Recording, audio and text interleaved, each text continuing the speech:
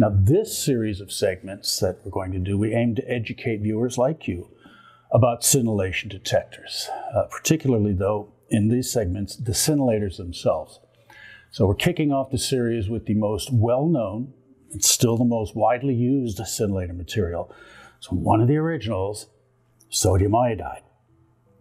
Now, technically, the name of the material is thallium doped sodium iodide, and the doping of the sodium iodide with thallium that first occurred in 1948 by Robert Hofstadter, this occurred in Princeton, New Jersey. Now, up to that time, most researchers and scientists had been using organic materials to observe the effects of radioactive energy. These are organic uh, scintillators, organic meaning that these are materials that occur naturally now, the thallium doping that was introduced uh, to the sodium iodide also introduced inorganic scintillators.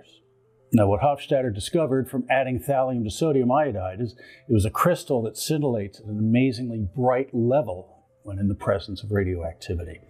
And it was a brightness that they'd not seen before. Word got around. And this really opened up things wide it was the beginning of spectrometry and spectroscopy as we know it now. Scientists witnessed the results and they saw the light. They saw a light bright enough to convert to electrical pulses that they could actually count and measure. This is how it came about. Sodium iodide was the very first inorganic scintillator, and it's still around today. And not just is it around, it's still thriving today. And the reason for this is because sodium iodide has some very important properties. And we're going to cover those. Keep watching.